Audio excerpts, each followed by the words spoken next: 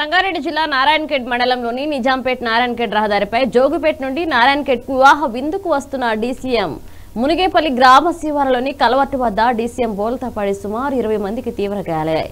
ముగ్గురు పరిస్థితి విషమంగా ఉంది. నూట ఎనిమిది మరియు నూట మూడు మూడు అంబులెన్స్లో గాయాలైన వారిని నారాయణఖేడ్ ప్రభుత్వ ఆసుపత్రికి తరలించారు. డీసీఎంలో సుమారు వంద మంది ప్రయాణికులు ఉన్నట్లు సమాచారం.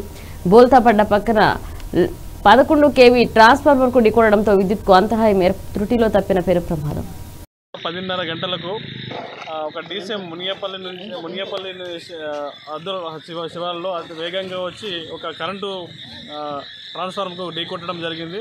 అది ఆ, జోగుపేట నుంచి నారాయణఖేడ్లో ఫంక్షన్ ఉందని చెప్పేసి ఫంక్షన్ వాహ ఫంక్షన్ కోసమని వెళ్తున్నానని అది అతివేగంగా వచ్చి ఆ- ట్రాన్స్ఫార్మర్ కొట్టడంతో ముగ్గురికి తీవ్ర గాయాలడం కావడంతో నారాయణఖేడ్లోని ఏరియా ఆసుపత్రికి పంపించడం జరిగింది.